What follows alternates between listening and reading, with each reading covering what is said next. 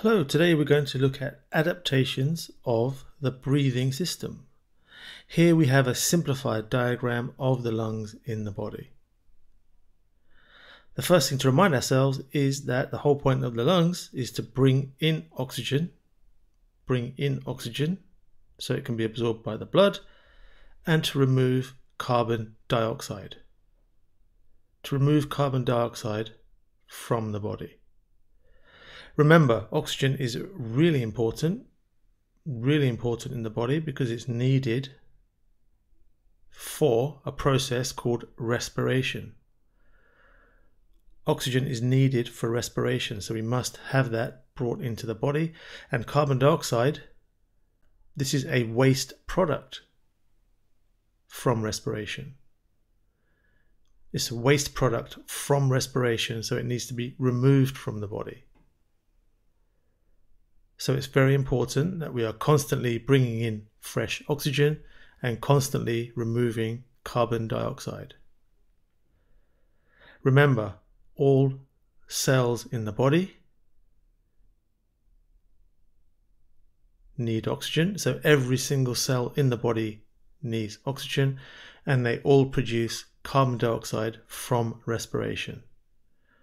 If we were being technical, we'd say from aerobic respiration.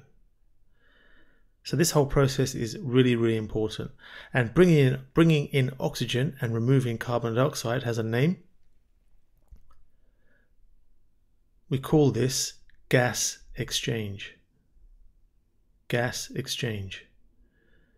So you could say that the job of the lungs in the body is that of gas exchange, bringing in oxygen and removing carbon dioxide. So an important key term there for us to highlight.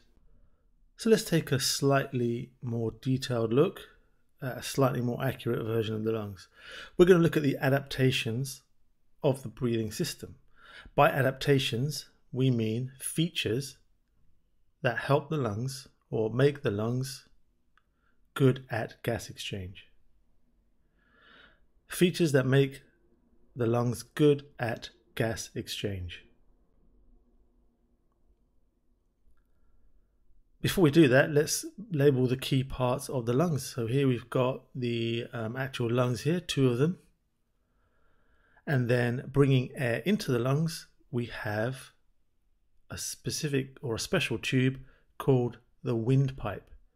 The science word for that is trachea. I suppose they're both science words in a way, but trachea is the slightly fancier one.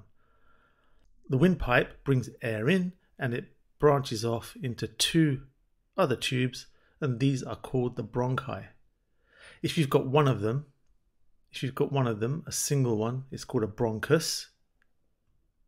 A bronchus. If you have more than one, it's bronchi. Now, for the other labels, we have to actually slice the lungs in half here. So let's get rid of that top layer and look at the details inside. So what we have are some smaller tubules, some smaller tubes. These are called the bronchioles. So these are smaller tubes that carry air in. These are the key labels for the lungs. Now, that's not all because we have another feature that's slightly trickier to see. So let's just bring that out, make it a bit larger so we can see it a bit more clearly. And this is found at the end of all those bronchioles, and this is called an alveolus. Alveolus. And this is where the gas exchange actually happens. You can see that it's very well supplied with blood vessels. Let's just make a note here. Al the alveolus is where gas exchange happens. Gas exchange. Okay, and you can see that there is a good supply of blood around the alveolus. So let's just make a note there.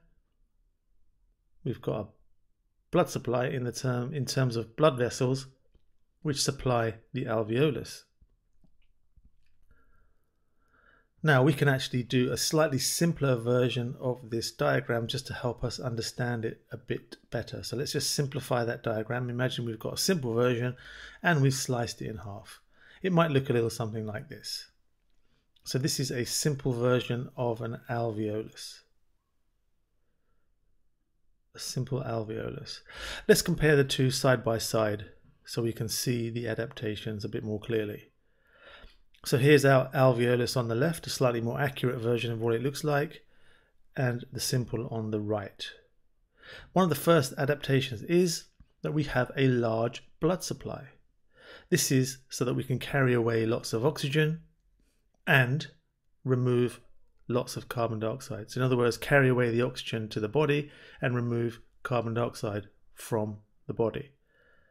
This means we've got more or we've got faster gas exchange because we've got a large blood supply.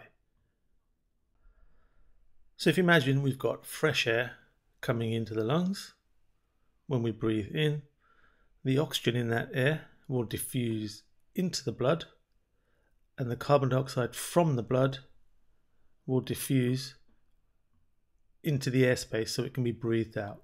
That's why a large blood supply is very important. If you look at the shape of the alveolus, you'll also notice that it has a large surface area. The way it's shaped gives it a large surface area, which means we can increase the amount of gas exchange that goes on. If you've got more surface area, you've got more surface to absorb oxygen or remove carbon dioxide. So a large surface area is also very important.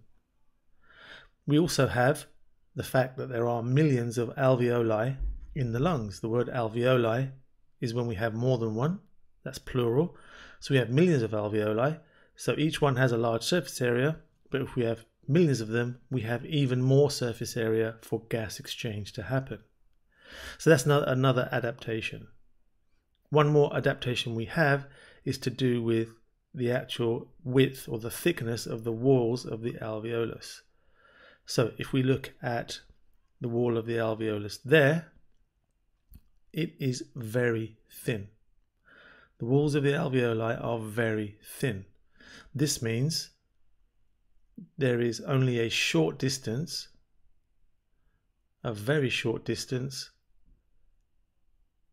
for oxygen and carbon dioxide to travel. We could actually use the word diffuse there. So there's a short distance for the oxygen and carbon dioxide to diffuse in and out of the lungs. Better gas exchange. Okay, so there we have it. These are the main features or the main adaptations a large blood supply, large surface area, thin walls, and the fact that we have many millions of alveoli for more surface area.